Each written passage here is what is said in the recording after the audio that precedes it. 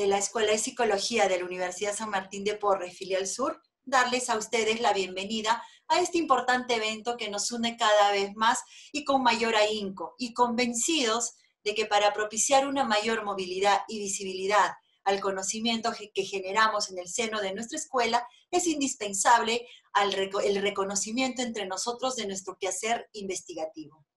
Este evento es también el escenario propicio para reconocer con mucho orgullo el tesón, disciplina y el trabajo de nuestros docentes, que sirve como ejemplo a emular por sus dotes de brillantes investigadores. Tengo la certeza de que esta conferencia servirá como sana disculpa para hacer una reflexión colectiva que nos enriquezca para continuar profundizando en el conocimiento de fenómenos de la salud mental y que por ende nos deben hacer más receptivos para trabajar intra e interinstitucionalmente.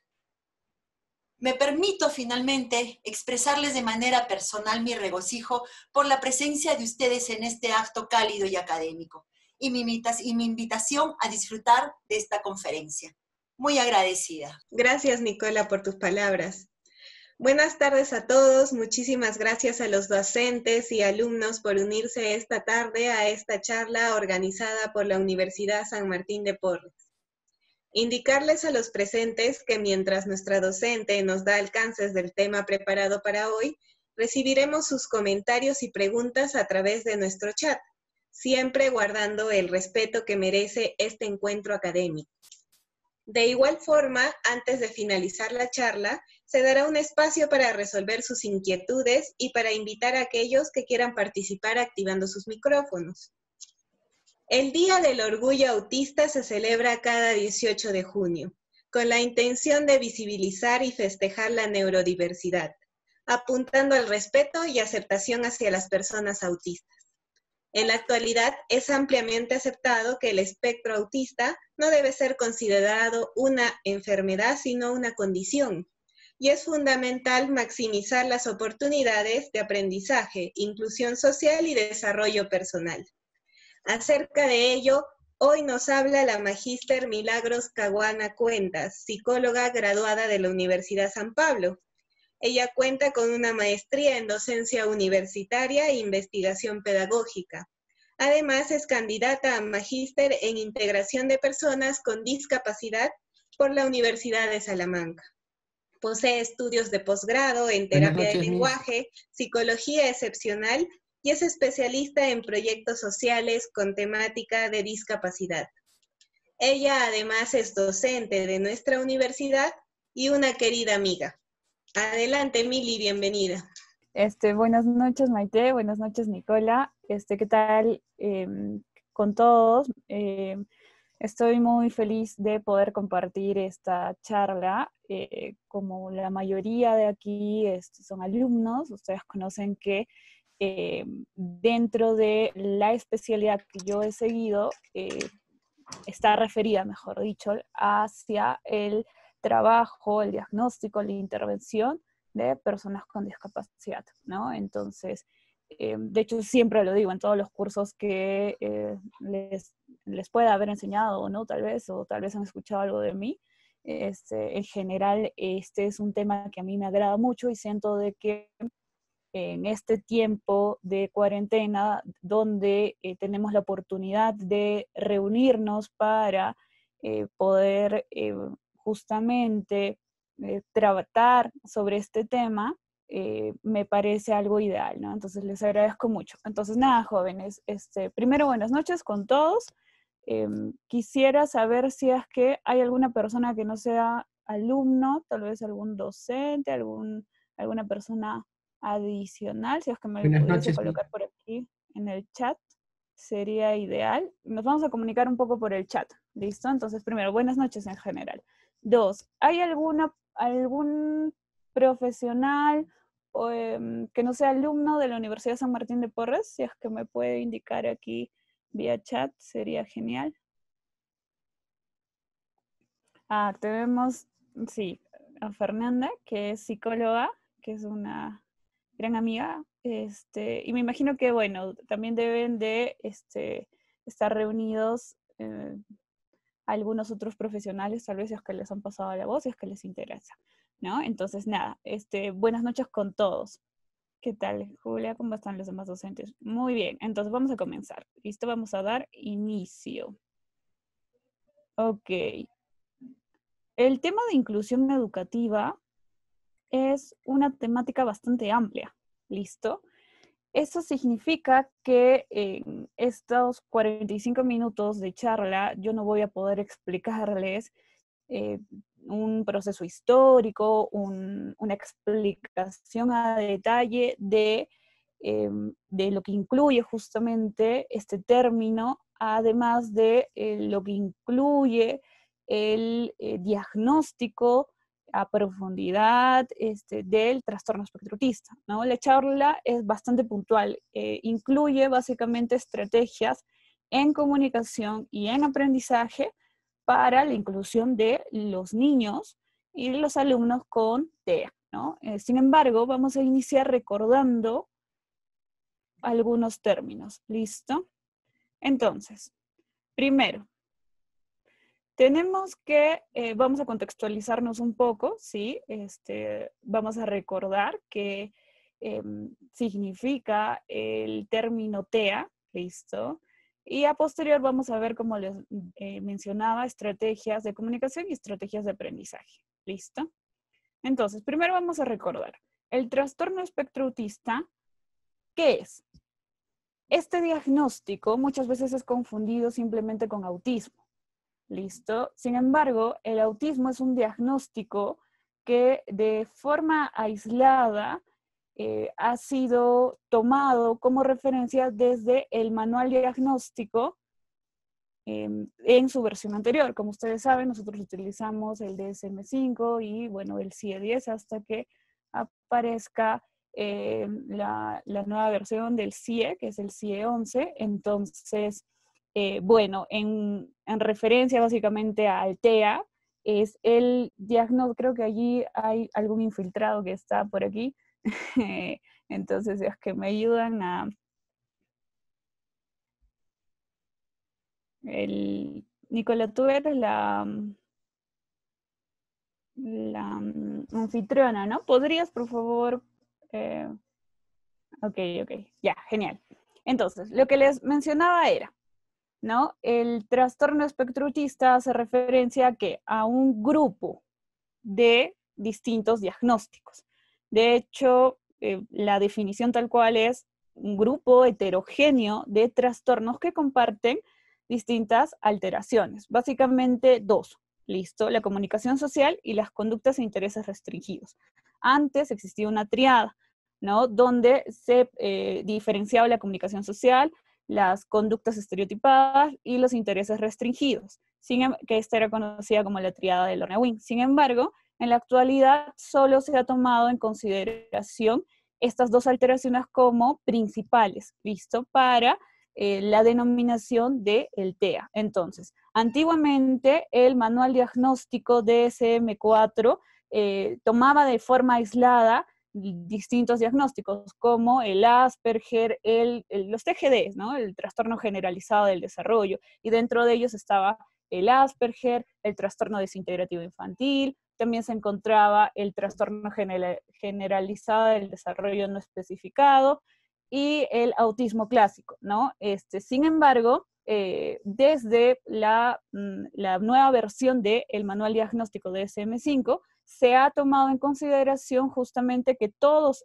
estos diagnósticos no se deben de ver desde una perspectiva aislada, sino que deben de ser integrados dentro de un grupo. Ese grupo, ¿cómo se denomina? TEA. Entonces, algo que quisiera que em, nosotros puntualicemos es que el TGD es un diagnóstico anterior al DSM-5. ¿Listo? Entonces, si ustedes, por ejemplo, han escuchado de algunos psicólogos que diagnostican a em, un niño con trastorno generalizado del desarrollo, esta persona se está refiriendo a una versión no actualizada de nuestro manual, ¿no? Entonces, lo ideal, lo que sugiere el, propio manual, es que se pueda eh, tener claridad de que todos estos trastornos ahora se encuentran integrados justamente en esta categoría. ¿Listo? Entonces, eso es algo que eh, yo quería eh, que juntos recordemos, ¿no? De igual forma, es importante mencionar que el TEA eh, va a estar dividido según distintos grados de alteración, ¿ok? Este, básicamente son tres. Tenemos el grado 1, el grado 2 y el grado 3. Estos grados están divididos de acuerdo al, a la necesidad de apoyo o no del individuo. ¿Listo? Entonces, cuando nosotros nos encontramos frente a un niño, una persona que este, justamente está siendo diagnosticada con TEA, tenemos que pensar, ok, TEA, pero ¿de qué grado? Entonces, eh, ¿cómo vamos a hacer la división? De acuerdo a la necesidad o no de apoyo que tenga. ¿Cuánta necesidad de apoyo este, requiere? ¿Listo? Entonces, el grado 1, por ejemplo, este, el grado 1 se va a ver referido a los chicos que necesitan apoyo, ¿listo? Pero no es que necesitan bastante apoyo ni mucho apoyo, simplemente requieren apoyo, ¿listo? Entonces, eh, estos chicos son denominados como eh, chicos que tienen diagnóstico de TEA con grado 1 de alto funcionamiento, ¿listo? Aquí vamos a encontrar eh, dentro de los diagnósticos que antiguamente eran clasificados desde el DSM-4, por ejemplo, el caso del Asperger. ¿Listo? Eh, ¿Por qué? Porque este diagnóstico va a tener ciertas características que no van a tener un impacto tan alto en el individuo como para que le generen distintas barreras, ¿listo? A nivel de eh, la inclusión social. Entonces, primero tendríamos que definir que el grado 1, que es de alto funcionamiento, está caracterizado por dos cosas principales. Primero, por eh, el déficit en la comunicación social. Este, por ejemplo, nosotros muchas veces em, podemos eh, haber sabido de que chicos con Asperger, como antiguamente se le diagnosticaba, tienen muchas veces respuestas atípicas, ¿no? Que no entienden el doble sentido, eh, les cuesta entender las metáforas, les cuesta entender em, eh, el contexto social, la intencionalidad del otro, ¿listo? Entonces, justamente todas estas características van a hacer referencia al déficit en la comunicación social. Si se dan cuenta, dice comunicación social, ojo, ¿listo? Y también lo que observamos dentro de eh, los chicos que son diagnosticados con grado 1 es que ellos tienen inflexibilidad en el comportamiento. ¿Listo? Básicamente la rigidez mental. ¿Qué incluye la rigidez mental? La, dificultad que la persona tiene en cambiar de situaciones, ¿listo? En realizar transiciones, tanto eh, cognitivas como conductuales. ¿Eso qué significa? Que, por ejemplo, yo ahorita estoy dando una charla, ¿no? Pero eh, se apaga la luz. Entonces, eh, bueno, se apaga la luz y ¿qué, es lo que tendría que hacer? Bueno, me vería imposibilitada, tal vez tendría que pensar en distintos tipos de soluciones para este, seguir dándoles las charlas o si no, eh, lo que plantearía sería reprogramar. Yo aquí estoy utilizando mi flexibilidad cognitiva. ¿Eso qué significa? Que no me estoy cerrando a el cambio, ¿listo? Entonces, los chicos que tienen alto funcionamiento, es decir, los de grado 1, tienen inflexibilidad en el comportamiento. Esta es una de sus características principales. Ahora, recordemos que los, eh, las personas con eh, un grado 2, es decir, un funcionamiento medio, van a requerir bastante apoyo. Si se dan cuenta, es como que empieza a subir eh, la cantidad de apoyo, ¿no? Necesario. Entonces, en el grado 2, nosotros observamos que en la comunicación los, eh, las personas que tienen este diagnóstico van a tener una deficiencia, pero ¿en qué parte, en qué área de la comunicación? En el área verbal y en el área no verbal. ¿Listo? Entonces, este es distinto al anterior. ¿Por qué? Porque en el grado 1 era únicamente en la comunicación social. Ahora vemos que hay una implicancia verbal y no verbal. ¿Eso qué significa? Que, por ejemplo, en el lenguaje expresivo, básicamente en el lenguaje articulatorio, en el lenguaje del componente sintáctico, en el componente semántico, en el, eh, se va a ver alterado, ¿listo? Eh, y también en la comunicación no verbal, ¿eso qué significa? En el uso de los gestos, ¿listo? Gestos eh, convencionales, gestos descriptivos, etc. Y también observamos que aquí hay una inflexibilidad en los comportamientos restringidos y repetitivos. ¿Eso qué significa? De que em, la inflexibilidad en el comportamiento va a incluir patrones restringidos. Los patrones restringidos están muy ligados a eh, lo que comúnmente nosotros denominamos intereses restringidos. ¿Listo? ¿Esto qué significa? Em, ustedes tal vez han escuchado de que los chicos que tienen trastorno espectro autista muchas veces se afanan mucho con un interés.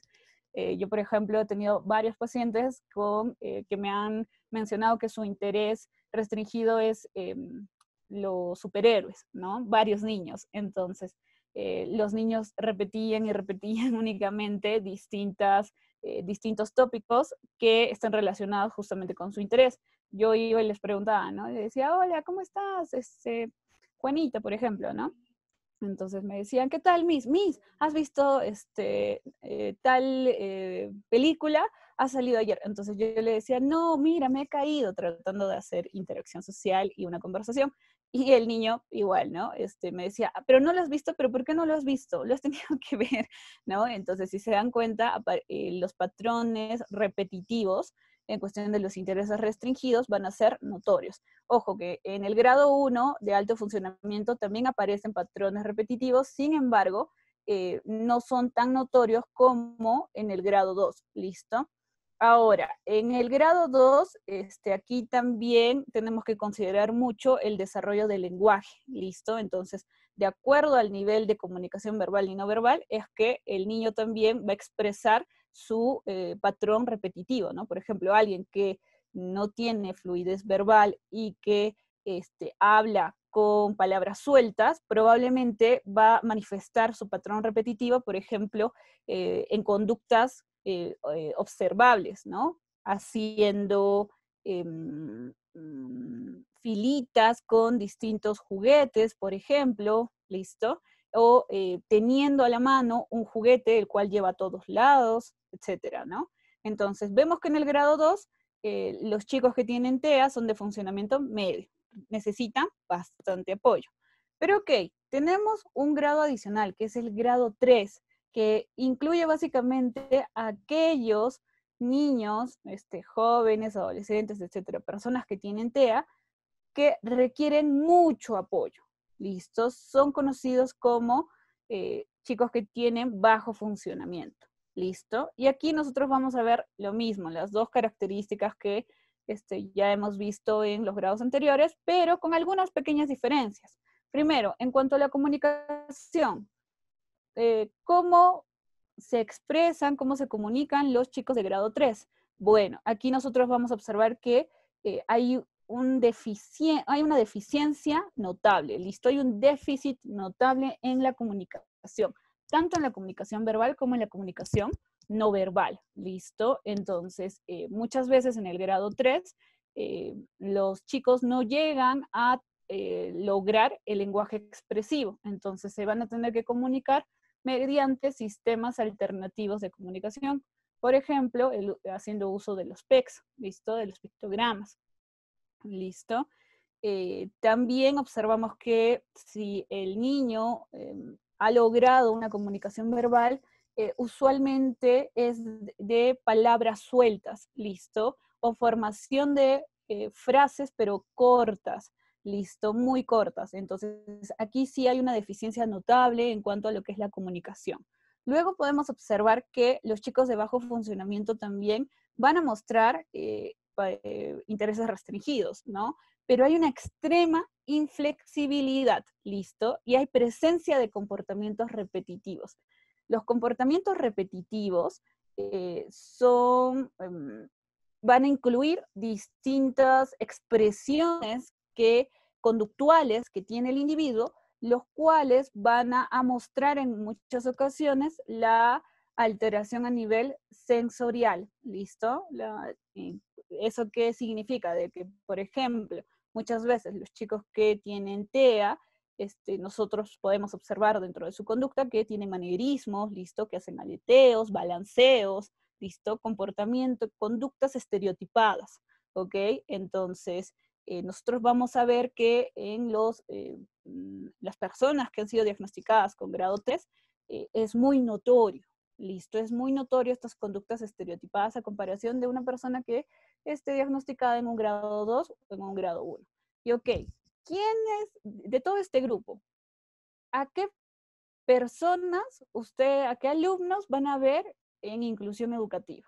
Como ustedes recordarán, la inclusión educativa eh, busca justamente la em, participación de la persona con alguna condición de salud permanente, es decir, con una discapacidad, dentro del contexto escolar, pero eh, dependiendo del grado, o sea, las personas que están incluidas van a ser personas con una discapacidad leve o moderada, ¿listo? ¿Por qué? Porque una discapacidad severa va a necesitar mayores recursos, ¿sí? mayores recursos educativos y van a necesitar una educación especializada. Y obviamente ellos eh, se ubican dentro de los centros educativos de educación básica especial. Mientras que la inclusión educativa, en el caso de los chicos que tienen TEA, va a estar dirigida a aquellos que tienen un grado 1 o un grado 2, un funcionamiento alto y un funcionamiento medio. ¿Listo? Entonces, Recordando todo esto, ¿no? Teniendo en claro este primer panorama, ¿por dónde vamos a iniciar, iniciar justamente estas estrategias de comunicación y estas estrategias de aprendizaje que este, el día de hoy yo les voy a dar, ¿no? Bueno, tenemos que saber siempre, eh, tenemos que conocer al alumno en cuestión, ¿listo? Tenemos que saber qué le gusta, qué no le gusta, qué le molesta, qué le interesa, ¿listo? Eh, nosotros tenemos que ser muy observadores frente al paciente, si es que, bueno, ustedes lo están viendo desde un lado clínico o si es que eh, ustedes lo van a ver desde el lado educativo, ¿listo? Eh, entonces, nosotros tenemos que tener la mayor cantidad de información sobre él, ¿listo? Sobre él o sobre ella. ¿Por qué? Porque estos datos iniciales van a determinar la forma en la cual yo me acerque y la forma en la cual yo intervenga. ¿Listo? No todos los chicos que tienen TEA tienen los mismos gustos, no a todos les molesta lo mismo, no a todos tienen el mismo interés. ¿Listo? Por ejemplo, lo que les comentaba, ¿no? Muchos de ellos tienen como interés restringido, los pequeños, las figuras de acción. ¿Listo? El fútbol también lo he escuchado bastante. ¿listo? Eh, sin embargo, van variando, van cambiando. Muchos de ellos les gusta, eh, no sé, un dibujo, eh, por ejemplo, Mickey, y después de un tiempo les gusta otro, Paul Patrol, después va variando, ¿listo? ¿Por qué? Porque ellos también van a estar en constante interacción con distintos grupos sociales, ¿no? En sus casas, este, con su familia, etcétera, ¿no? Entonces, Em, tanto con su familia nuclear, con su familia extensa, ¿no? Entonces, eh, nosotros tenemos que ser los mejores detectives, ¿listo? Para iniciar cualquier tipo de intervención, eh, para aplicar alguna estrategia específica, tanto de comunicación o de aprendizaje, nosotros primero nos tenemos que preguntar eh, cómo es el niño, ¿listo? En cuestión. y también tendríamos que preguntarnos si es que el niño tiene conductas disruptivas. Listo, conductas disruptivas hace alusión a conductas indisciplinadas, ¿no? Inapropiadas, ¿no? Indisciplinadas en un contexto educativo, inapropiadas dentro de un contexto familiar, ¿no? O en un contexto social.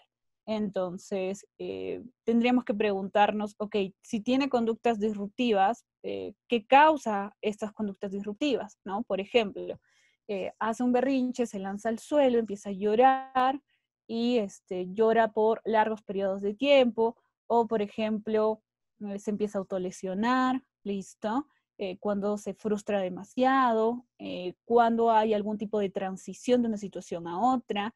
Entonces tendríamos que preguntar, ya, pero ¿por qué? ¿Por qué? ¿Qué pasó antes? ¿Listo? Ese es la este es el kit del asunto. Siempre que ustedes vean una conducta disruptiva, pregúntense, ¿qué pasó antes? ¿Listo? Puede ser que la causa sea hipersensibilidad sensorial, que también es una característica en ellos. Listo, ellos tienen alteración en el proceso sensorial, listo, entonces puede haber hipersensibilidad, hiposensibilidad a ciertos sonidos, a ciertos, ciertas texturas, etcétera. Listo, eh, ¿qué los frustró? ¿no? Porque ya he mencionado de que también una de sus características es la rigidez mental, entonces habría que preguntarnos eso. ¿Listo? O tal vez es porque el niño, como no tiene eh, una forma de comunicar sus emociones ni eh, sus intereses, entonces eh, empieza a tener estas conductas disruptivas cuando no le entiende. ¿Listo? Tal vez es un tema de comunicación. también tendríamos que preguntarnos si es que adicionalmente se está dando un desorden emocional, ¿no? entonces, el abordaje va a comenzar justamente con el conocimiento que nosotros tengamos frente a la persona con TEA, ¿listo? Y obviamente este abordaje va a tener como objetivo potenciar las habilidades, trabajar los déficits que él tiene tanto en comunicación como en comportamiento, ¿listo? Este, hay que aprovechar todos los intereses que nosotros podamos observar en él, listo. Eh, nuestro mejor aliado justamente van a ser estos patrones, eh, estos intereses restringidos. Pero no, tendremos, no tenemos que olvidarnos de que eh, de todas formas estamos frente a un niño, listo. Entonces, que dentro del proceso de aprendizaje, obviamente nosotros tenemos que motivarlos, tenemos que eh, utilizar algunas estrategias conductuales, listo, elogios, recompensas, etcétera, listo. Entonces, vamos a ver algunas estrategias puntuales en la comunicación para niños pequeños con TEA. Las estrategias de comunicación las eh, voy a dirigir específicamente a la población eh, inicial y primaria, mientras que las estrategias de aprendizaje las voy a dirigir a la población secundaria. ¿Listo? Entonces, eh, comencemos. En las estrategias de comunicación para niños pequeños, ¿qué reglas de oro yo tengo que recordar? En primer lugar, es muy importante que al momento de eh, yo tratar de comunicarme, lograr una interacción social con el niño, con este diagnóstico, tengo que captar su atención. ¿Por qué? Porque otra de sus características es la mirada esquiva. ¿listo? El poco contacto visual que tienen. ¿Eso qué significa? Que el niño que tiene TEA mira hacia abajo, a un costado, mira hacia arriba, etcétera, ¿no? Entonces, eh, no tiene un contacto visual eh, directo, ¿ok? Entonces, mm, si es que el niño está esquivando la mirada, tendremos que preguntarnos, ok, ¿y qué está mirando?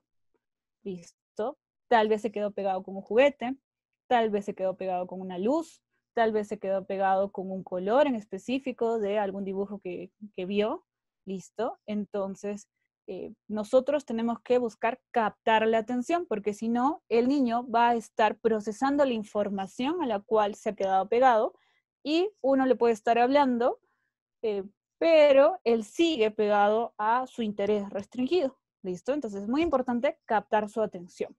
¿Cómo podemos captar la atención de los pequeños que tienen TEA? Por ejemplo, en el preescolar, en, el área inicial. Este, girando el rostro, ¿listo? Entonces nos acercaremos, tenemos que ponernos a su altura, ¿listo? Porque, bueno, eso en general, ¿no? niños neurotípicos o niños con TEA, este, de todas formas el acercamiento ideal siempre es a la altura de este, ¿no? Tenemos que hablarle de frente con un lenguaje concreto, un lenguaje concreto incluye una cantidad mínima de palabras, ¿sí? Puntual. ¿Ok? Este, si el niño es preverbal, eh, todavía tenemos que considerarlo muchísimo más. Es decir, que tendríamos que dar eh, dos comandos, ¿sí? Dos estructuras gramaticales claras. ¿Listo? Eh, hola Juan, hola Juan. Y tenemos contacto visual con él. Por ejemplo, volteamos el rostro y lo saludamos, ¿no? Hola Juan.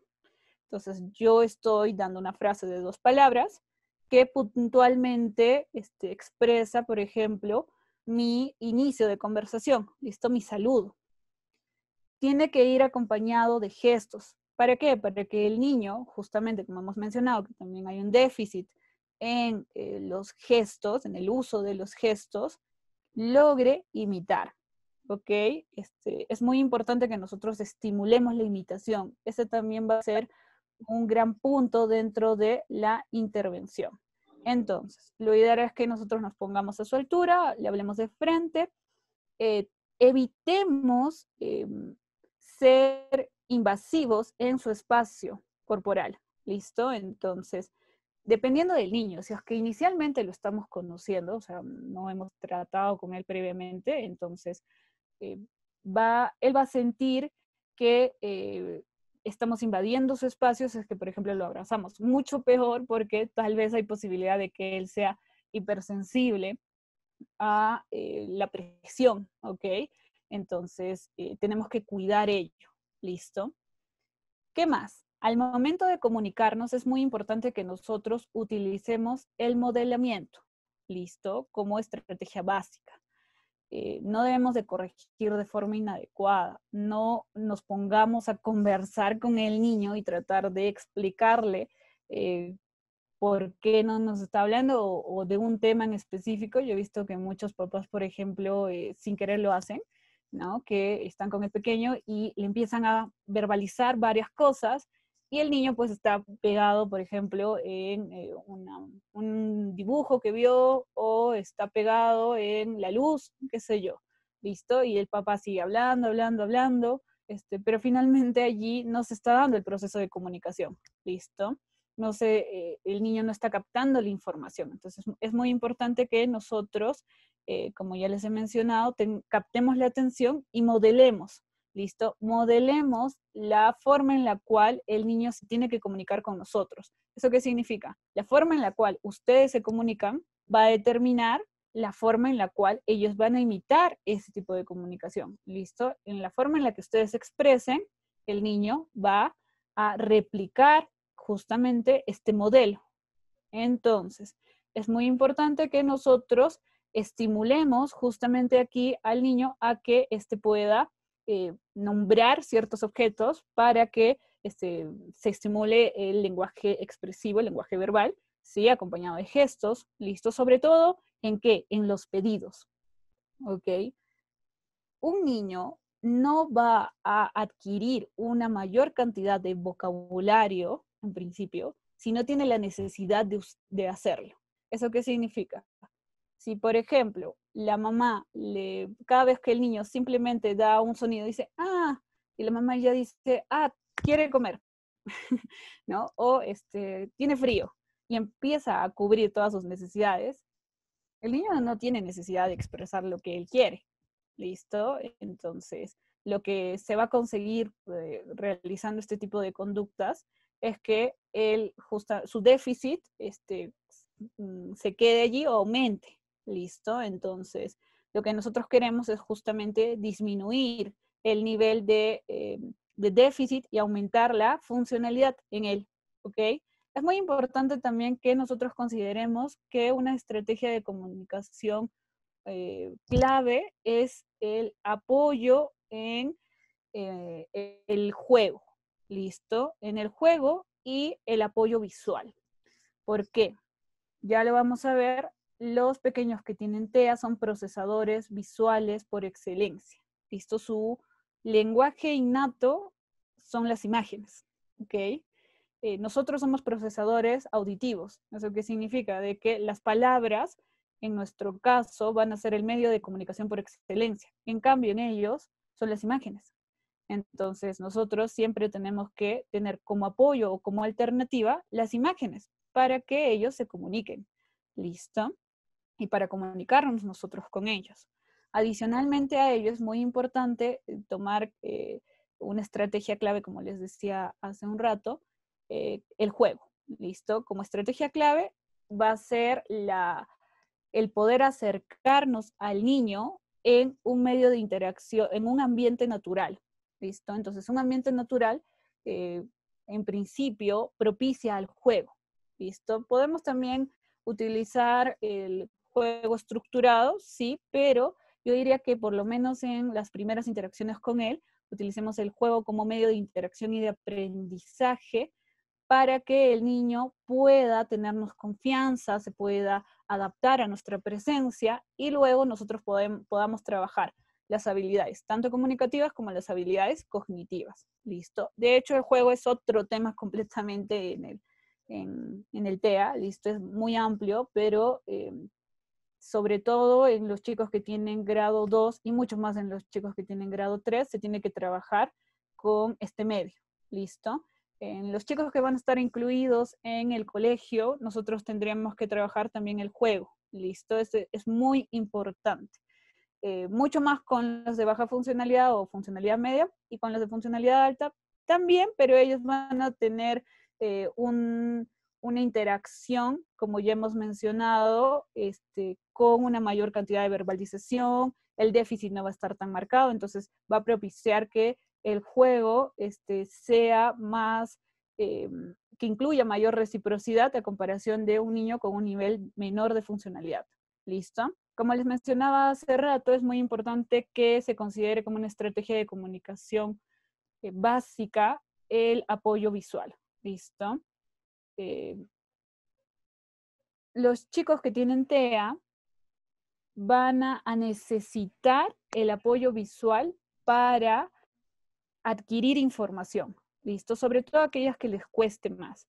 Entonces, por ejemplo, el, traslado o el traspaso de una actividad a otra, la adaptación que se pueda tener, eh, que, puede, que pueda requerir este niño, siempre va a tener que ir de la mano con el apoyo visual. ¿Listo? ¿Por qué? Porque la información auditiva, es decir, las palabras, se les lleva el viento, son transitorias, mientras que la información visual siempre está disponible. La información visual ayuda a que mi ansiedad, mi ansiedad se calme, ¿listo? Eh, es predecible. ¿Por qué? Porque me está mostrando concretamente qué eh, pasos voy a seguir, ¿listo? En cambio, si tú simplemente me la dices, yo no la entiendo. ¿Por qué? Porque a mí ya me cuesta comprender la información auditiva. Entonces, me la dices una vez y esperas que yo eh, siga la instrucción, se va a complejizar. ¿Listo? Entonces, como ven en la imagen, bueno, las gafas de las personas que tienen TEA en realidad son los apoyos visuales. Si ustedes me quitan, por ejemplo, a mí mis gafas, eh, no voy a poder, eh, no voy a poder ver. Listo, ¿por qué? Porque yo tengo un nivel de miopía e hipermetropía alta. Listo. Sin embargo, si es que ustedes, eh, por ejemplo, yo necesito mis lentes, ¿ok? O sea, para adquirir información, para comunicarme, etcétera, mm, lo requiero. Entonces, tómenlo así, listo, de que eh, las gafas hacia el mundo son básicamente los apoyos visuales en el caso de la población con TEA. Les voy a mostrar aquí algunos apoyos visuales, visto dentro de una estructura o un salón de clase. Por ejemplo, nosotros tenemos aquí el horario, em, que es bien específico, incluye los pasos, ¿no? Primero el saludo, luego la hora de lectura, luego sigue este, la hora de eh, utilizar los colores, témperas, eh, luego jugar con los animales, sonidos y el adiós. Siempre es importante que se estructure por pasos, ¿ok? Y también es importante de que eh, se dé em, se dé imagen, hay una imagen ah, de la temporalidad. ¿Eso qué significa? De que, por ejemplo, nosotros vamos a ir cambiando esta flechita de la hora, que representa el tiempo, cuando ya se culmina una actividad. ¿Listo? Si se dan cuenta, esto es predecible. Aquí básicamente me están diciendo mi horario completo, entonces yo entiendo desde que entro cuáles son las actividades que voy a seguir y bueno, eh, el, momento de eh, finalizar, ¿listo? Luego también tenemos como apoyos visuales conductas apropiadas, conductas inapropiadas, ¿listo? Eh, también se puede trabajar em, dentro del salón de clase la anticipación hacia una actividad. Por ejemplo, muchas veces los niños eh, quieren em, realizar una actividad que les gusta mucho, pero la que, por ejemplo, no les agrada, no la quieren realizar, ¿no? Entonces, en el caso, eh, yo el niño, yo quiero trabajar con el niño la escritura, listo, pero el niño cogió las burbujas y mira las burbujas o sabe en qué cajón están las burbujas, porque olvidar es que tampoco las cosas estén eh, dispersas dentro de la estructura de clase, sino todo tiene que estar eh, guardado y más bien tiene que haber una etiqueta ¿sí? en el exterior para que el niño pueda hacer el reconocimiento de eh, cada una de estas categorías. ¿Ok? Entonces, el niño, por ejemplo, quiere burbujas, sabe que, va, que siempre que va a terapia o que siempre que está en el salón, este, la maestra lo premia con burbujas. ¿Ok? Quiere eso. pero este, nosotros tendríamos que estructurar un, un antes y un después, ¿listo? Entonces podríamos colocar, por ejemplo, que, ok, primero hacemos la actividad que menos te agrada, que es escribir, y luego vas a tener, vamos a trabajar con burbujas. Listo. De hecho, las actividades que más le agradan al niño se tienen que dar a posteriores. Se suele hacer una actividad que no le gusta tanto, luego una actividad que más le gusta. Listo. Y hay que alternar en ello. Eh, esa es una recomendación. También este, vamos a utilizar el em, canje de fichas. Listo. Que bueno, eso es común en los niños eh, con TEA y niños neurotípicos, ¿no? Entonces, como les mencionaba, es importante que se pueda guardar todos los juguetes y utilizar distintas etiquetas. Eh, por ejemplo, este es, una, este es un horario de uno de mis pequeños, ¿sí? de uno de los pequeños a los que yo atiendo, eh, en su salón de clase, ¿ah? de hecho. Y bueno, aquí también hay parte de mm, algunos consultorios, del consultorio, de mi consultorio, este, si alguno de ustedes a futuro también quiere dedicarse a la clínica infantil y básicamente al excepcional, también es importante de que ustedes tengan bastante material, ¿no? Eh, es muy importante el trabajo en la estimulación sensorial. Listo. Obviamente allí ustedes eh, no van a, a, darla por completo porque hay un profesional específico que es el terapeuta ocupacional, ¿sí? Que tiene una formación en este trabajo. Sin embargo, siempre es importante de que ustedes también conozcan cuáles son las actividades que él va que él está realizando, listo, para que ustedes las refuercen desde su posición. Entonces, vamos a ver un ejemplo aplicado de las reglas de comunicación, las reglas de oro que les he mencionado hace unos minutos.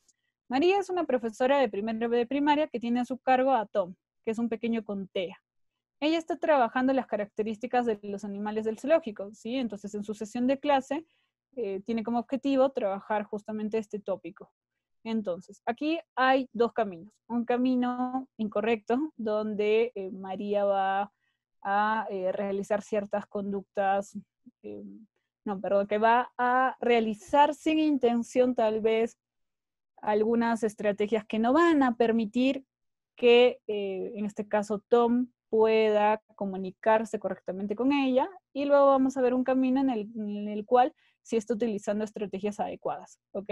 Entonces, primero, ¿qué sería lo incorrecto? Que ella, eh, por ejemplo, les ha pedido verbalmente que piensen en un animal, listo, en su animal favorito, y que luego lo dibujen, ¿no?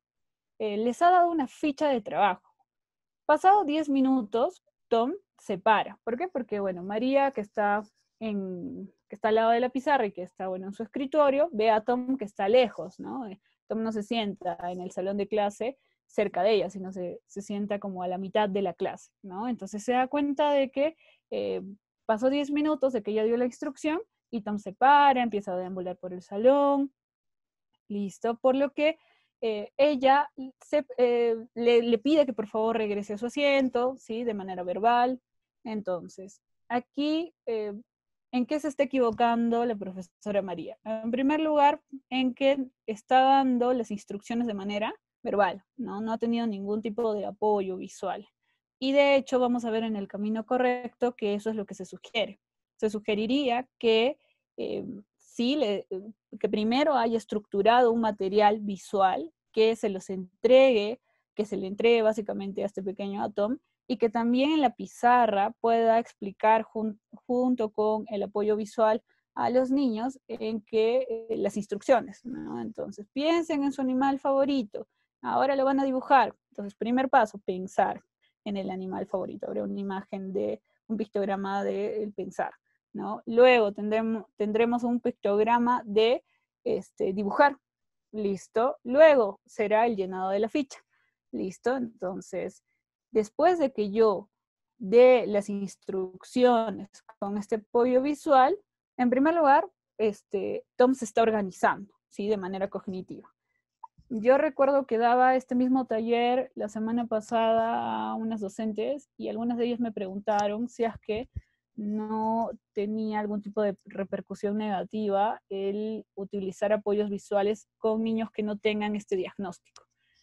Y en realidad lo que yo les mencionaba es, era de que no, porque en realidad nosotros siempre necesitamos del apoyo visual, ¿sí? No será, no, nosotros no seremos procesadores este, visuales por excelencia, como los niños que tienen TEA. Sin embargo, es el segundo sentido que nosotros más utilizamos, ¿listo? En la adquisición de la información y la transformación de la información a información este, al área cognitiva, ¿listo? Entonces, em, por ejemplo, yo ahorita estoy utilizando ¿qué? Diapositivas como un apoyo, ¿listo? Que me organiza, ¿ok? Entonces, que en el salón de clases una profesora utilice el apoyo visual con los niños que no tienen esta condición, más bien los va a organizar y estructurar más, ¿listo? Entonces, por eso es que se recomienda. Eh, claro, para fomentar la inclusión de Tom, pero también porque esto va a ayudar a los demás niños, ¿no? Va a estimularlos. ¿Listo? Eh, no estamos diciendo de que nosotros vamos a eh, llenar el salón absolutamente de todo, de pictogramas en todos los espacios en blanco. ¿Listo? Porque eso también sería ruido visual. Pero este, sí es importante de que en las instrucciones y, y en ciertos momentos específicos se utilice este apoyo visual, ¿sí? En ciertos espacios del salón también se tiene que utilizar estos apoyos visuales, ¿ok? Entonces, ¿qué sería lo correcto? Que, este, bueno, la profesora María eh, haya estructurado previamente un material con una secuencia visual de pasos, listo, que la explicación la dé a todos y que, bueno, Tom como es un chico que tiene una condición de salud, tiene que sentarse cerca de la profesora. Los chicos que tienen habilidades diferentes nunca rotan, ¿listo? O sea, pueden rotar hacia la derecha o hacia la izquierda o hacia el centro, pero no es que van a rotar eh, por todo el salón, ¿listo? ¿Por qué? Porque este, yo necesito observarlo de manera continua, ¿listo? Entonces, eh, es importante de que nosotros recordemos fuera del apoyo visual también eh, reforzar la instrucción que nosotros le demos. ¿Ok? Entonces, eh, lo que tendría que hacer la profesora, una conducta, una estrategia, sería el modelar, modelar justamente el lenguaje y la conducta del niño en función del pedido que se le está dando. ¿Listo? Y cada cierto tiempo es importante que este, uno regrese, ¿listo? Al alumno para ver si es que lo está haciendo de manera correcta. ¿Eso qué, qué significa? Hay que darle seguimiento, ¿ok? Luego, tenemos estrategias de aprendizaje para los estudiantes de secundaria. Dijimos que íbamos a ver estrategias de comunicación para los niños de eh, nivel preescolar y escolar. Sin embargo, que las estrategias de aprendizaje las íbamos a dirigir hacia los alumnos que están en el nivel secundario, ¿no? Tenemos que recordar este, básicamente las necesidades de los chicos con TEC, que ya hemos mencionado previamente, entonces voy a pasar ello. Dentro de las estrategias educativas, en esta charla yo les voy a mencionar básicamente eh, tres áreas, ¿listo? En el razonamiento verbal y la comunicación, en las matemáticas y en la interacción social. Primero, en el razonamiento verbal.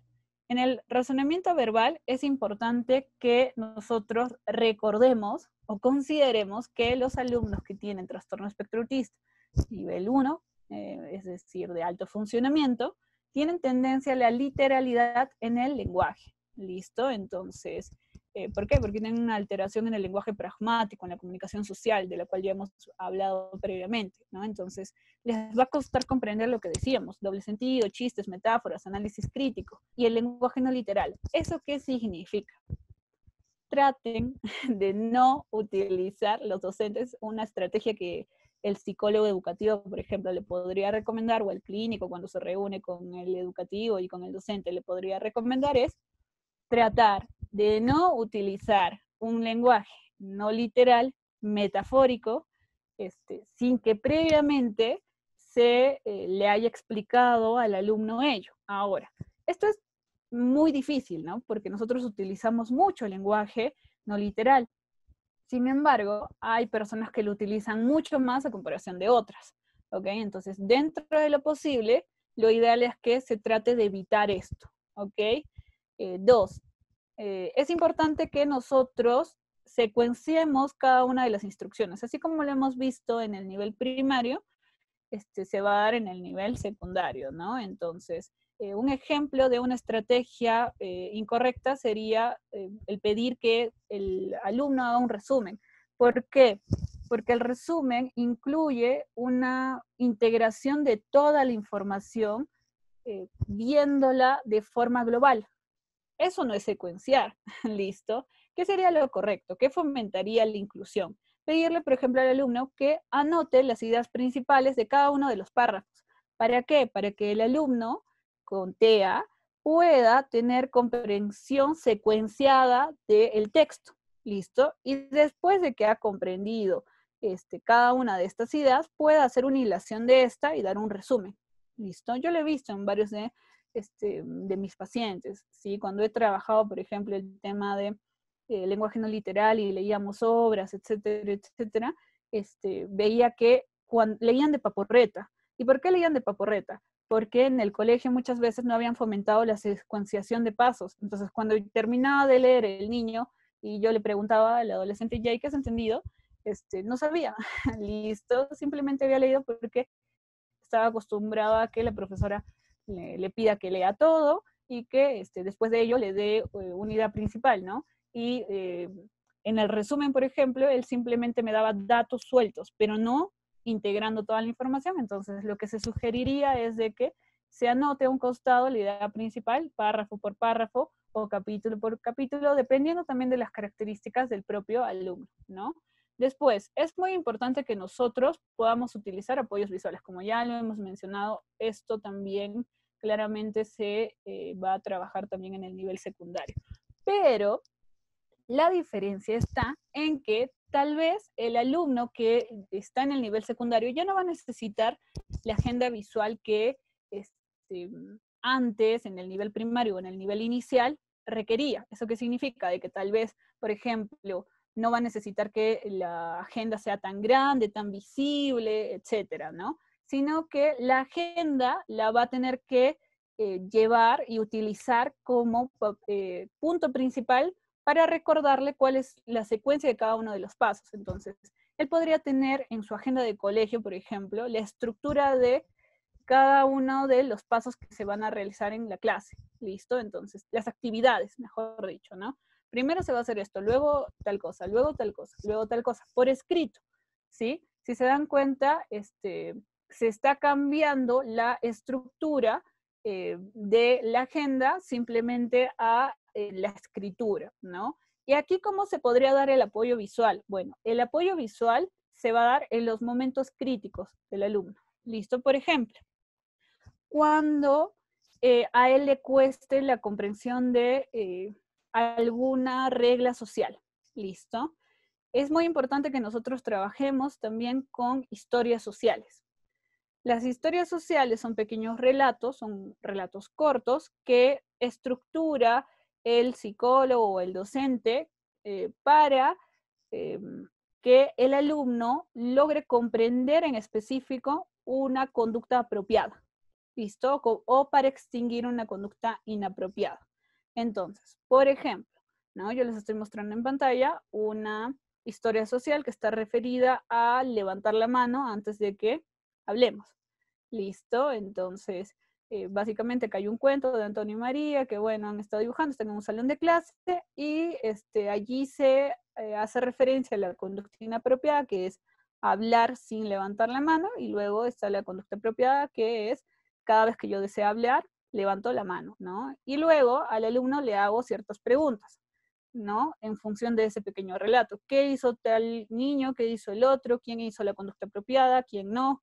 ¿Qué es lo que tú harías? Etcétera, ¿no? Entonces, de esta forma se trabajan las historias sociales. Justamente van a tener como objetivo, como les, dije hace un rato, tratar de eliminar las conductas inapropiadas y tratar de propiciar las conductas apropiadas en el contexto social. Entonces, allí vamos a utilizar los apoyos visuales, ¿listo?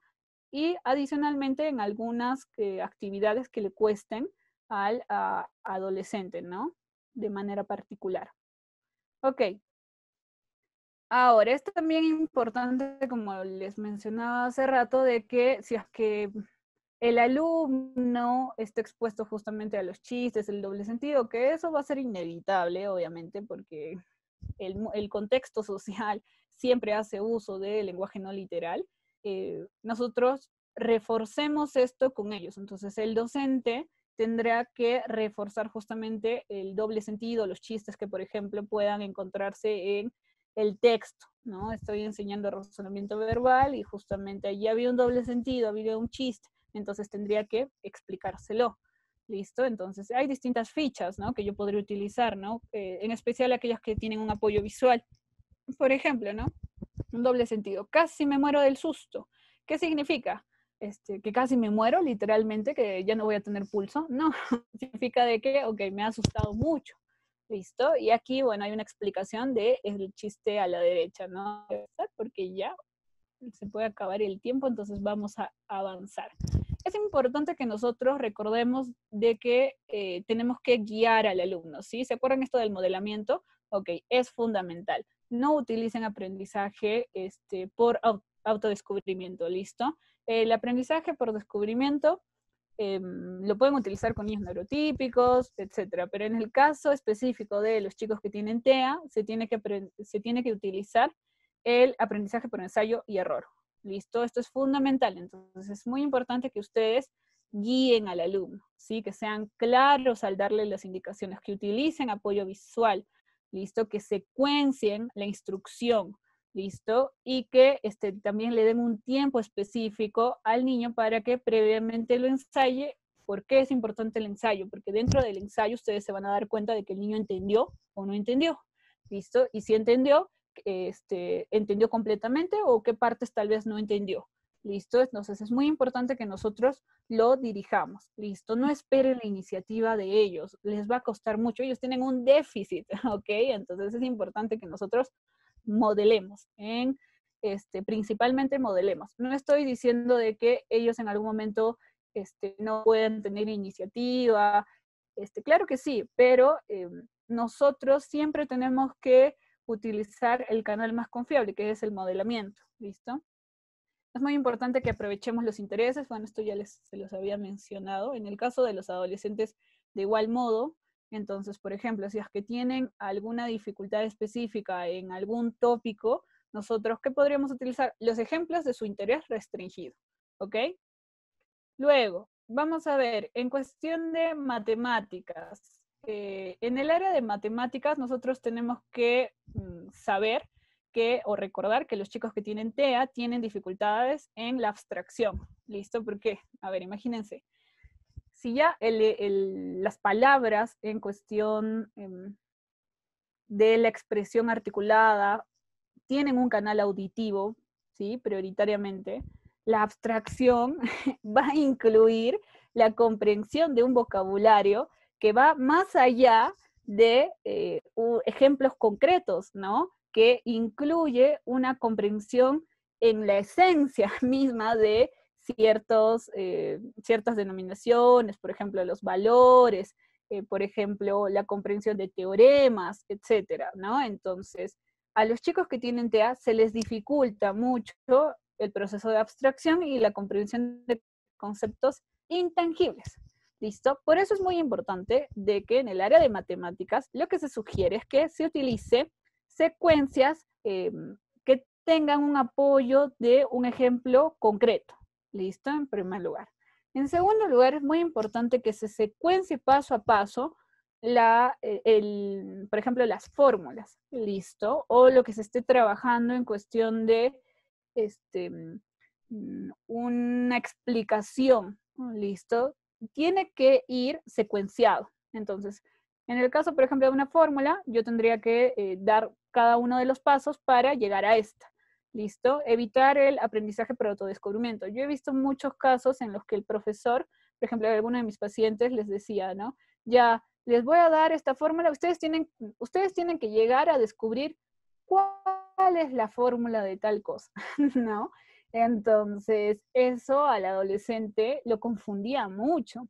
¿Por qué? Porque no hay una estructura y si no hay una estructura, el nivel de ansiedad empieza a subir, ¿listo? Porque no es un, contexto predecible. Entonces, el adolescente que tiene TEA eh, justamente va a este, evitar este tipo de, em, de cursos, ¿no? En cuestión, ¿por qué? Porque tienen mucho, eh, eh, con, muchos conceptos que están relacionados con em, la comprensión de ciertos abstractos, ¿no? Es importante también que nosotros diseñemos modelos de examen de resolución con ejercicios, ¿ok?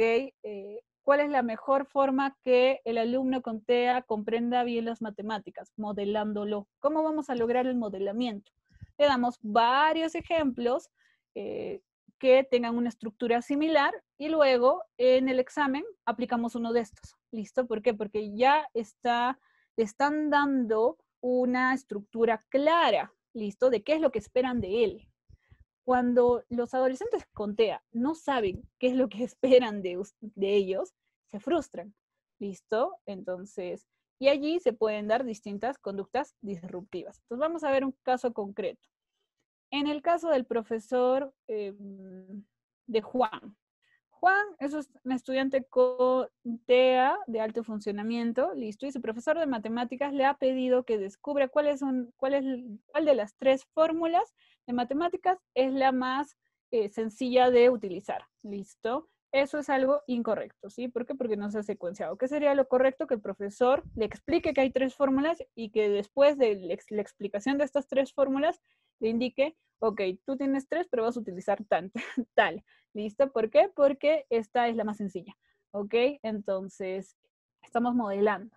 Finalmente, vamos a ver el área de interacción y socialización. Aquí es importante considerar que eh, las personas que tienen TEA justamente tienen inflexibilidad mental, ¿no? Tienen rigidez mental. Entonces, muchas veces van a ser más sensibles a la falta de comprensión del actuar distinto de otras personas, ¿no? ¿Por qué? Porque la rigidez mental también va a estar asociada a un déficit en teoría de la mente. ¿Listo? Y justamente la teoría de la mente incluye la capacidad de la comprensión de la intencionalidad del otro. ¿Listo? Entonces, es muy importante que nosotros recordemos no dar comandos rígidos, evitar usar palabras siempre, ninguno. ¿Listo? En el caso concreto aquí que les he puesto, ¿no? El profesor de uno de los adolescentes que tenía TEA, este es un caso real, ¿listo? No es Juan, pero bueno, ahí le puse Juan al, adolescente. Eh, una vez se molestó con el salón en el cual estaba mi paciente y les dijo a todos, ya, el próximo que hace bulla, em, va, por culpa de él, todo el salón no va a salir. Y obviamente, porque son adolescentes, alguno de ellos hizo bulla, y este, Juan, cuando, bueno, mi paciente cuando llegó a este, su casa, estaba súper ansioso porque estaba muy molesto, muy enojado porque él eh, creía literalmente lo que había mencionado el profesor, ¿no? De que nunca más iban a salir a recreo sus compañeros y este, él decía, ahora de ahora en adelante nunca más voy a salir a recreo y todo por culpa de ellos, etcétera. Entonces es importante que nosotros tratemos de no utilizar comandos rígidos, no extremicemos es importante que este, también los docentes em, no se tomen de manera personal las distintas características de los chicos que tienen TEA en cuestión de eh, las conductas, eh, la, las dificultades en la interacción social. Por ejemplo, eh, yo tengo un paciente que está en la universidad que constantemente la corrige a la profesora, ¿listo? Porque su interés restringido está relacionado con la ortografía. Esto le gusta mucho leer libros de diccionarios y demás. Entonces, cuando la profesora, por ejemplo, proyecta sus diapositivas y una palabra no está correctamente escrita, él levanta la mano, ¿no? Y le dice, profesora, eso, está eso es incorrecto, etc. Ok. Eh, y la profesora em, se lo tomó un poco personal, ¿no? Porque pensaba de que el alumno quería hacerla quedar mal, etcétera. Y eso no es verdad, ¿no? Simplemente hay que comprender la forma en que ellos comprenden. También es importante que nosotros recordemos que tenemos que fomentar la inclusión y la flexibilidad, ¿sí? Consultando siempre al alumno eh, qué lo confunde, qué podría hacer por él el docente, listo. Es muy importante que prestemos eh, atención justamente a la forma en la cual él se expresa en una situación en concreto. Eh, yo aquí les he puesto la imagen de Flexi. Flexi es em, un superhéroe que fue creado por Anabel Cornago, que es una especialista justamente en el tema de trastorno espectro autista. Es mamá y es docente. Listo, ella tiene bastante bibliografía. De hecho, al final de mi presentación, que ya queda poco, les voy a mostrar algunos libros a los cuales ustedes, eh, que yo les recomiendo que ustedes lean, ¿listo? Entonces, eh, ella ideó un cuento para explicarle a su hijo, Eric, eh, a qué se refería la flexibilidad mental. Entonces, ella hizo la analogía en cuestión del pensamiento, ¿no? El cerebro puede ser o rígido o puede ser flexible. Rígido como una roca, ¿listo? Cuando yo me empecino en una idea y, por ejemplo, no quiero cambiar eh, esa idea o no quiero hacer una transición de un juguete a otro, ¿no? En cambio, el cerebro puede ser como una plastilina. ¿Eso qué significa? Que puede ser flexible. Entonces, eso me va a dejar eh, eh, la, la transición entre una idea a otra o entre una conducta a otra. ¿Listo? ¿Cuál es la diferencia? Que cuando yo, cuando mi cerebro es rígido, como una roca, allí me controla un villano que es llamado Cocorroca, ¿listo? Y Cocorroca hace infeliz mi vida. ¿Por qué? Porque cuando mi cerebro es como una roca, los demás se enojan, eh, yo tiendo a hacer mucho berrinche, me aíslo, etcétera, ¿no? Mientras con Flexi yo soy capaz de adaptarme a los nuevos cambios, tengo más amigos, este, todos están más contentos, yo estoy más contento. ¿Listo? Entonces, esa es una buena eh, es una historia social muy interesante que ella creó justamente para fomentar la flexibilidad mental. Eso también es algo que nosotros podemos hacer. Ok, aquí les he traído un videito de uno de mis pacientes modelo. es el hijo de la presidenta de la ONG Autismo ACUP, eh, del cual, bueno, yo soy miembro fundadora. Listo. Eh, este pequeñito eh, tiene TEA. Eh, TEA estuvo en un TEA nivel 3. Listo. Y con la terapia intensiva y demás ha logrado este, estar en un TEA con grado 2. ¿Ok? Y de hecho yo veo que tiene un gran pronóstico, ¿no? Entonces van a ver algunas características de cómo es que sus compañeritos muchas veces lo ayudan a que él se integre, porque eso también es muy importante. ¿sí? Si bien la charla de hoy ha estado dirigida más que nada a las estrategias de inclusión educativa, eh, en posibilidad eh, como actor principal el docente y bueno, el psicólogo educativo dándole toda esta información. Al docente es muy importante también considerar la sensibilización que se le tiene que dar a los compañeritos, el contexto educativo en general, los demás docentes que también tienen que tener actitudes positivas, listo, actitudes de fomento de la inclusión y obviamente esto tiene que estar eh, apoyado por la familia y la comunidad en general, ¿no? Entonces vamos a ver aquí este videito. No se preocupen que le pedí permiso a su mamá. Entonces, todo bien con que se vea el rostro.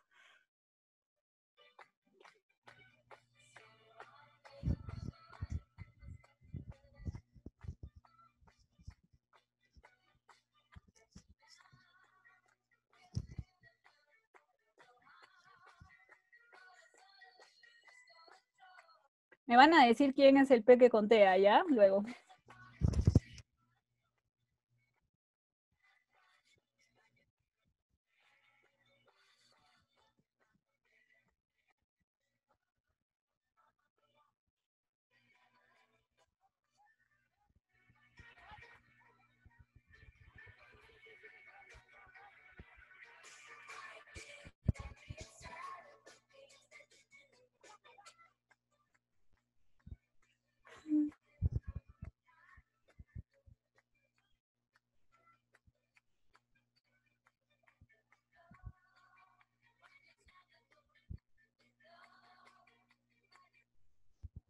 Bien, el pequeño es Rodrigo, ¿no? El pequeño de la derecha, ¿no? Eh, mientras él estaba actuando, su profesor estaba delante de todos los pequeños y estaba modelando la, eh, la coreografía, ¿no? Y le decía, Rodrigo, Rodrigo, acá, mírame, su mamá también, ¿no? Entonces, ¿para qué? Para que él justamente siga los pasos. Y si se dan cuenta, también sus compañeritos eh, lo incluían, ¿no? La compañerita con la cual él estaba bailando, este, lo empujó en un momento, ¿no? Entonces, ¿Eso qué, em, qué significa? Que el fomento de la inclusión educativa solo se va a dar cuando nosotros tengamos un contexto social inclusivo.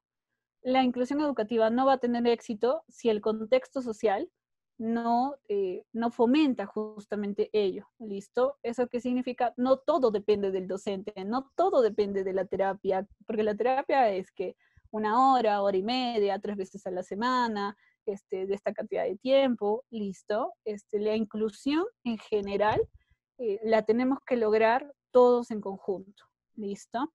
Entonces, bueno, les voy a dejar aquí algunos recursos adicionales que yo les sugeriría que lean, ¿sí? Está la guía para profesores y educadores de alumnos con autismo, listo, que eh, incluye muchas estrategias de adaptación curricular. También tenemos la, eh, la guía de adaptación curricular y materiales didácticos, listo, eh, para chicos con autismo y bueno, trastorno generalizado del desarrollo, porque esta salió justamente antes del 2014, pero es muy buena, listo, ¿por qué? Porque incluye actividades específicas, por áreas específicas.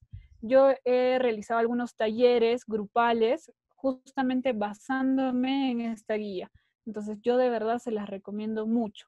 También tenemos el síndrome de, la guía del síndrome de Asperger, estrategias de intervención en el ámbito educativo, ¿sí? Eh, que esta guía también me, me, gusta mucho porque es muy práctica, todas estas guías son prácticas, y bueno, el blog eh, que, em, al cual yo, el cual yo visité por primera vez cuando tenía mucho interés de conocer el TEA y que eh, siento que fue como la primera iniciativa para que yo pueda eh, investigar más y luego seguir cursos y bueno, mi posgrado, ¿no? Que es el sonido de la hierba al crecer de Anabel Cornado, ¿no? Que ya se los había mencionado previamente.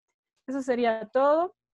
Muchísimas gracias. Los invito a que también puedan ingresar a la página eh, de Facebook de la ONG Autismo ACUPE por si es que les interesa este tema, por si es que alguno de ustedes quiere ser voluntario, por si es que alguno de ustedes quiere formarse más en toda la temática de TEA, listo. En Arequipa la población eh, no es minoritaria, ojo, ¿ah? uno pensaría, ah, son 10 personas, no, en realidad actualmente hay tres asociaciones, listo, una de ellas es la ONG, sin embargo, cada vez la población es más creciente, entonces es muy importante que eh, los psicólogos y bueno, ustedes los futuros psicólogos puedan conocer de este tema, ¿listo? Y algo que yo siempre lo digo en clase y probablemente aquí alguno de mis alumnos me va, eh, cuando me escuche va a pensar que es repetitivo.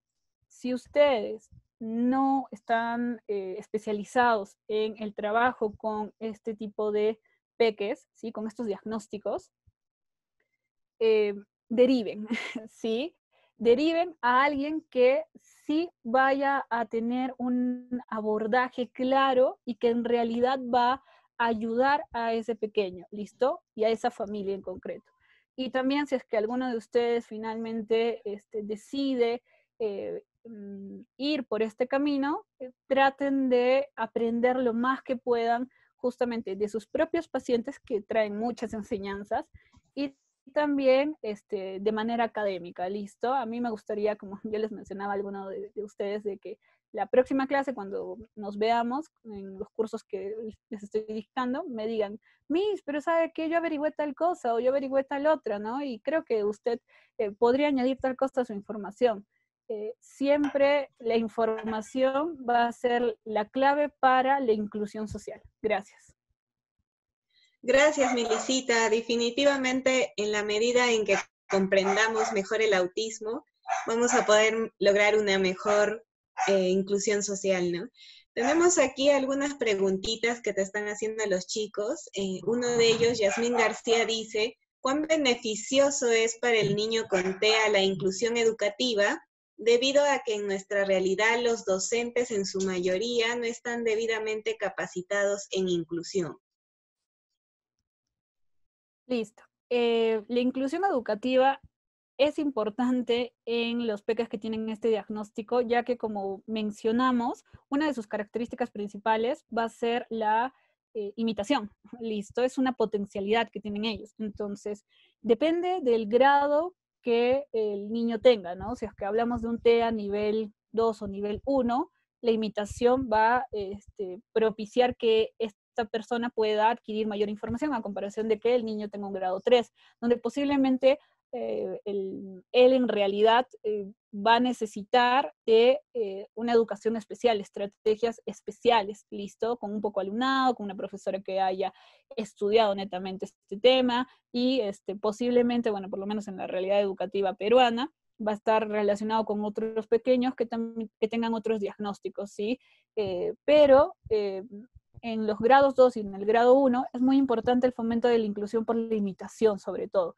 Entonces, yo siempre lo recomendaría, ¿listo? He visto algunos casos de pequeños con grado 1 que los papás los ponen en colegios especiales, sin embargo, todo el potencial que podrían los niños eh, desarrollar no, no se da por completo. Entonces, eh, pero obviamente eh, también es importante de que esta inclusión em, vaya de la mano con un docente que esté sensibilizado en primer lugar y en segundo lugar que reciba una capacitación. ¿Listo? Genial, Mili. otra alumna nos pregunta, ¿las terapias para niños con TEA también es para los familiares? Sí, la terapia eh, tiene que buscar, tiene que tener como objetivo justamente eh, disminuir el nivel del déficit. ¿Para qué? Para aumentar el funcionamiento del niño. Sin embargo, todas las estrategias que trabaja el terapeuta en esta hora u hora y media no son suficientes. ¿Por qué? Porque eh, ¿quién pasa la mayor cantidad de tiempo con el niño? El padre. ¿Listo? Entonces, ¿quién va a poder modelar claramente las conductas inapropiadas o el déficit eh, en la comunicación, etcétera. El padre. El padre y el docente. El docente pasa cinco horas, seis horas, ¿no? Con el niño. Eh, y el padre, bueno, pues todo, lo demás del tiempo, ¿no? Entonces es muy importante de que estas estrategias sean replicadas por todos los actores que están relacionados con el niño. Ahora, si es que tu pregunta iba relacionada a que eh, los padres necesitan llevar una terapia de eh, proceso de duelo, listo, para la aceptación de que su hijo tiene un tipo de condición también. También es importante que este, lo, considere, ¿sí? Porque obviamente esto, no, esto va a cambiar las expectativas que él tenía inicialmente, ¿no? Entonces, esto también podría estar relacionado con cuánto interés y cuánto este, apoyo pueda tener el niño de parte del padre, ¿no? Hay padres que, por ejemplo, no lo aceptan, entonces eh, el trabajo en la intervención es mucho más complejo. Otra pregunta que nos hace Evelyn Ceballos es, si existen niños con TEA que tienen diversas habilidades cognitivas, ya sea en artes, matemáticas, manejo de equipos electrónicos, tablets, celulares, computadoras, ¿cómo pueden potenciarse esas habilidades?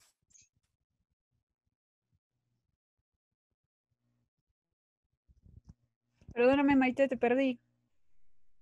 No sé si es. A ver, Mili, ¿me escuchas bien ahora? Sí, ahora sí. Dice que Evelyn Ceballos que si existen niños con TEA que tienen diversas habilidades cognitivas, ya sea en artes, matemáticas o manejo de equipos electrónicos como las tablets, los celulares o las computadoras, ¿cómo se pueden potenciar estas habilidades?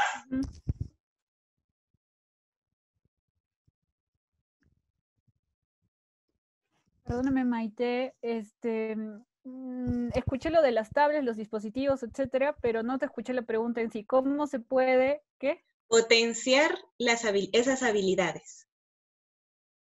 Ah, claro, con estos dispositivos justamente, ¿no? Este, el uso de las tecnologías, ¿sí? El uso de las TICs es muy importante también dentro del aprendizaje de los chicos que tienen TEA y en realidad de los chicos que tienen cualquier tipo de condición. ¿Por qué? Porque eh, las tecnologías, mm, todas las TICs en general, tienen una estructura clara. Cuando nosotros, por ejemplo, eh, ingresamos al celular y, por ejemplo, vemos algún tipo de este, jueguito y demás, es claro el objetivo, es claro lo que uno tiene que hacer, etcétera, ¿no?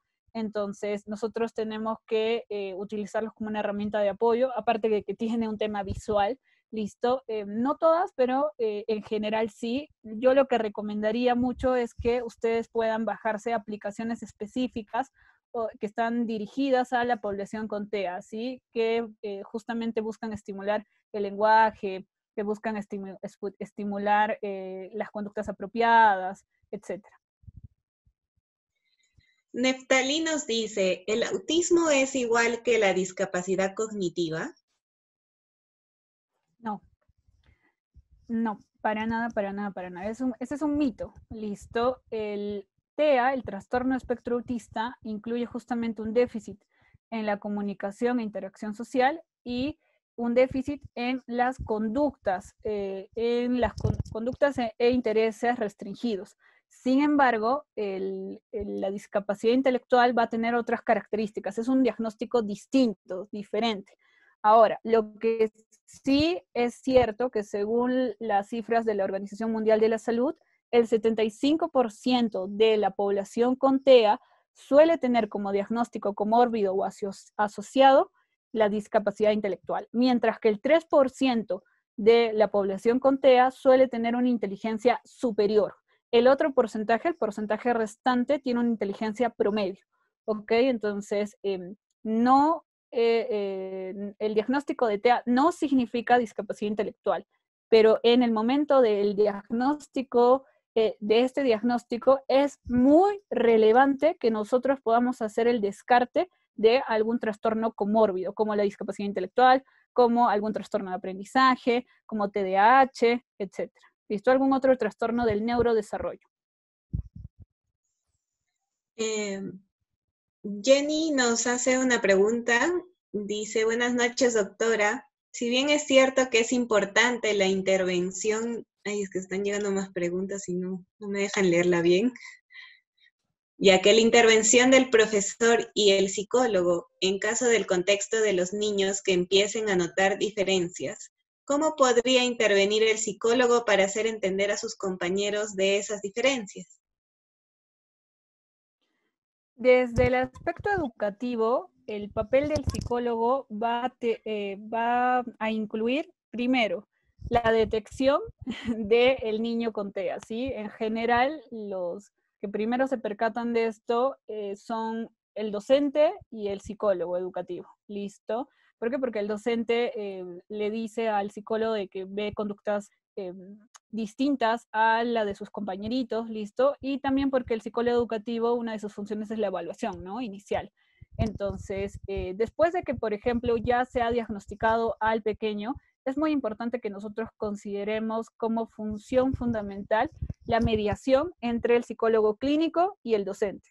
Yo recomiendo una reunión entre el especialista, el psicólogo educativo y él o los docentes eh, del alumno para que puedan socializar justamente la información del propio diagnóstico, las características adicionales y las estrategias que está trabajando el clínico y, eh, bueno, las estrategias de, la, de adaptación curricular que va a trabajar el docente y en general estas estrategias de adaptación curricular son socializadas con el psicólogo educativo. Entonces, el psicólogo educativo, primero que es un puente, también que es pieza fundamental para añadir algunas estrategias en la adaptación curricular, porque obviamente nosotros sabemos que es el especialista dentro del contexto educativo que conoce sobre la cognición, ¿no? Y las funciones superiores, cómo se está dando ese proceso de aprendizaje en, el, en la enseñanza-aprendizaje. Entonces, eh, dentro de sus funciones se va a incluir esto, además de la sensibilización a los compañeros y padres de familia. ¿Listo? Entonces, será importante también que se trabaje con los compañeritos eh, la sensibilización mediante talleres, eh, sesiones psicopedagógicas que fomenten la diversidad. Sí.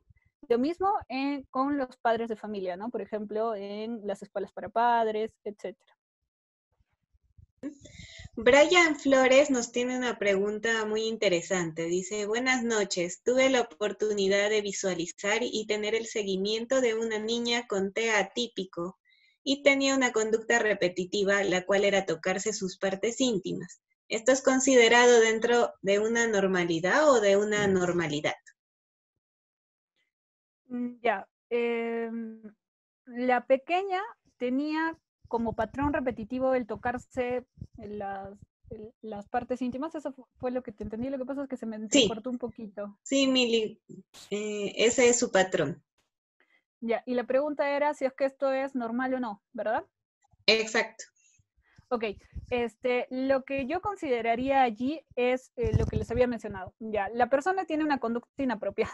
¿Por qué es inapropiada? Porque esta conducta va en contra de las reglas socialmente establecidas el tocarse en un lugar público es inapropiado, sí.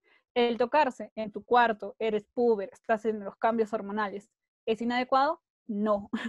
El tocarse en cuestión de búsqueda de exploración, cuatro, cinco años, etcétera, ¿es inadecuado? No. Listo, este, depende de eh, específicamente las características que, eh, por ejemplo, la niña en cuestión tenga, ¿no? Si hablamos de una conducta inapropiada que se tocaba constantemente para buscar placer, yo lo primero que pensaría es en una alteración a nivel sensorial, en el procesamiento sensorial, básicamente en el tacto. ¿Listo? Entonces la niña está eh, autoestimulándose porque tal vez tiene un déficit en el procesamiento sensorial. ¿Eso qué significa? Nosotros nos regulamos eh, a nivel sensorial. Por ejemplo, ahorita yo me estoy rascando, me estoy este, regulando porque mm, tengo una sensación y la estoy regulando. Por ejemplo, este, cuando ustedes, eh, no sé, duermen y duermen en una posición en específico. ¿Por qué? Porque eso los relaja, los masajes los relaja, etc.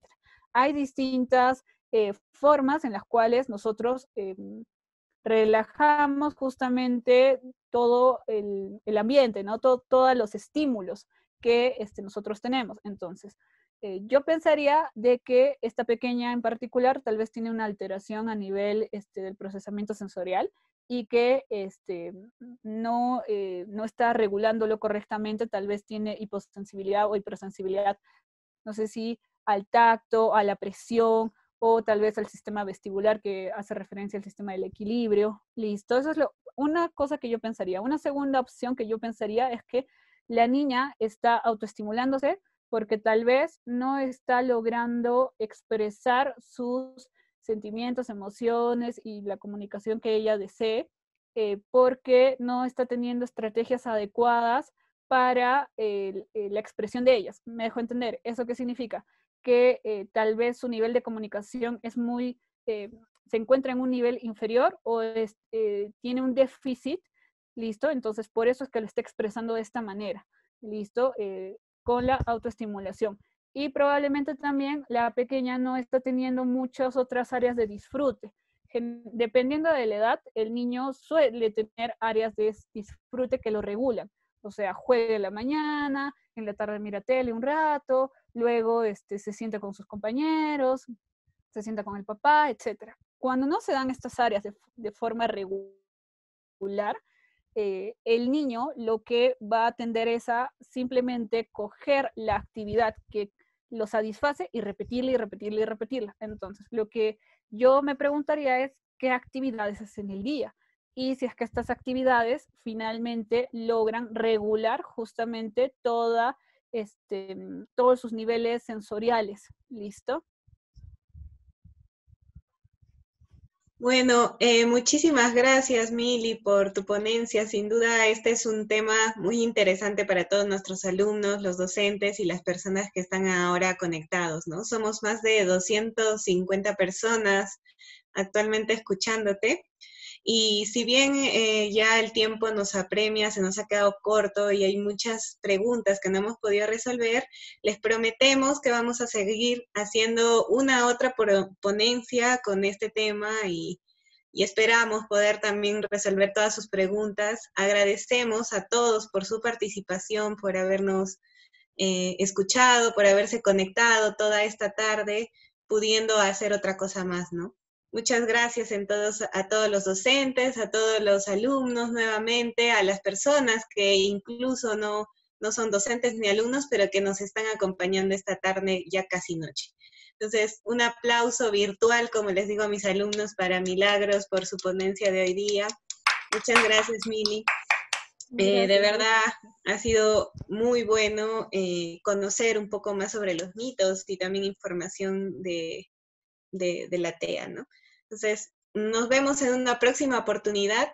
Chicos, muchas gracias por su participación y bueno, que tengan una muy buena tarde y noche. Hasta luego.